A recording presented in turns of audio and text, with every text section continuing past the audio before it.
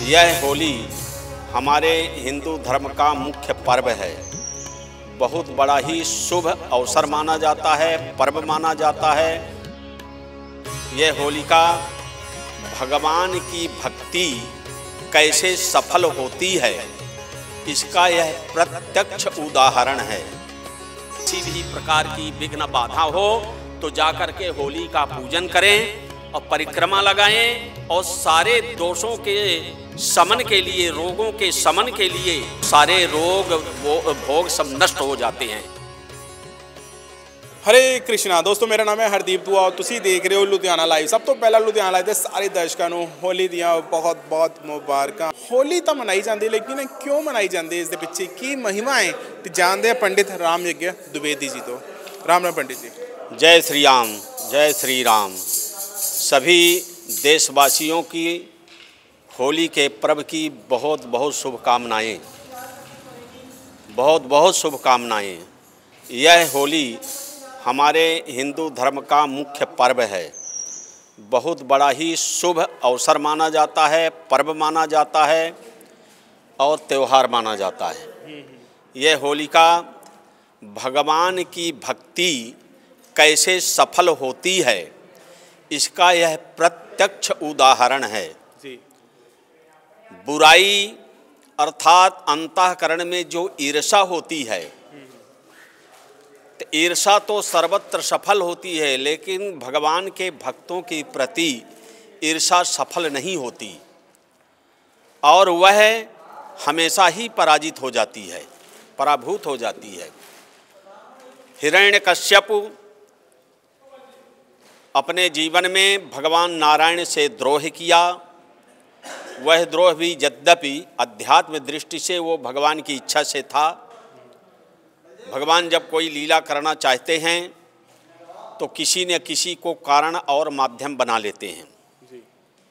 भगवान ने हिरण्य कश्यप के चरित्र के माध्यम से अपनी पावन भक्ति और अपने नाम की महिमा को जन जन तक पहुँचाने के लिए एक प्रत्यक्ष कारण बनाया। हिरण्यकश्यप के पुत्र हुए साक्षात परमात्मा के ही स्वरूप भक्त प्रहलाद। हिरण्यकश्यप ने अपने यहाँ जन साधारण को ये कहा कि कोई नारायण का नाम नहीं लेगा। जबकि भगवान आकर करके और ये उनके पुत्र रूप में आते हैं और ये बताते हैं कि जीव का जन्म केवल भगवान की भक्ति के लिए ही होता है। और जो हिरण्यकश्यप राम नाम की महिमा को राम नाम को जो जो विरोध करता है जी। तो भगवान ने ये बताया कि ये विरोध की भावना भगवान के नाम के प्रति नहीं होनी चाहिए। परमात्मा सर्वत्र व्यापक है सबका रक्षक है और राम नाम लेने से ये एक उपलक्षण है। केवल राम नाम नहीं नहीं जितने ही भगवान के नाम हैं सबका एक ही फल है। उन्होंने भगवान की भक्ति की।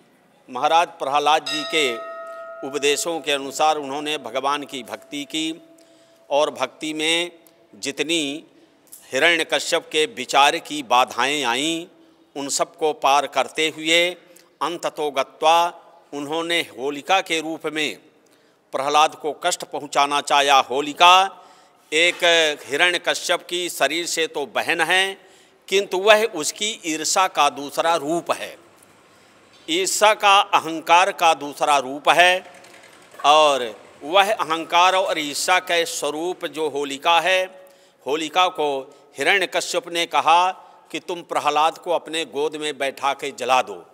प्रहलाद ने चैलेंज किया कि जो भगवान के नाम का आश्रयण ग्रह कर, ग्रहण करते हैं, जो भगवान की निश्चल भक्ति करते हैं, कपट छोड़ करके भक्ति करते हैं, जिनका संपूर्ण मनसा बाचा कर्मणा अंतकरण, भगवान नाममय है, भगवान के स्वरूपमय है, उसका कोई भी दोष, कोई भी अस्त्र, कोई भी शस्त्र, और यहाँ तक कि आदि भौतिक, आध्यात्मिक और अधि जगत में कोई भी कोई नुकसान नहीं पहुँचा सकता। तो होलिका ने पहले प्रहलाद को मना किया कि तुम आज से भगवान की भक्ति, भगवान का नाम लेना बंद करो।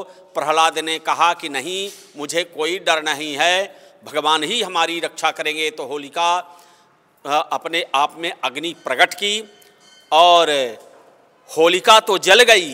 जो हिरण्य कश्यप का अहंकार होलिका के रूप में था, ईर्षा होलिका के रूप में है, वह जल करके भक्त भस्म हो गई और जो भगवान के भक्ति के साक्षात स्वरूप हैं, जिनका भक्ति ही अपना जीवन था, भगवान नाम का स्मरण ही अपना जीवन था, ऐसे प्रहलाद सुरक्षित बच गए और जब वो बच रात्रि में होली जली प्रहलाद बच गए। उसके उपलक्ष्य में लोगों ने दूसरे दिन भगवान की इस महिमा के लिए बहुत उत्सव मनाया। बहुत उत्सव, जो लोगों ने उत्सव मनाया, वही उत्सव आज तक चला आता है। अर्थात किसी भी प्रकार की विघ्न बाधा हो तो जाकर के होली का पूजन करें और परिक्रमा लगाएँ और सारे दोषों के समन के लिए, रोगों के समन के लिए होलिका का पूजन करें, परिक्रम करें परिक्रमा करें तो सारे रोग, वो, भोग सब नष्ट हो जाते हैं। यह होली की महिमा है। अर्थात दूषण पर ईर्षा पर भगवान की भक्ति का विजय। बहुत बहुत शुक्रिया। सो जाते जाते एक बार से फिर से लुधियाना के सभी दर्शकों को होली की बहुत बहुत शुभकामनाएँ और मुबारकें। सो कैमरा पर्सन एमी के साथ, हरदीप बुआ को दो इजाज़त। हरे कृष्णा।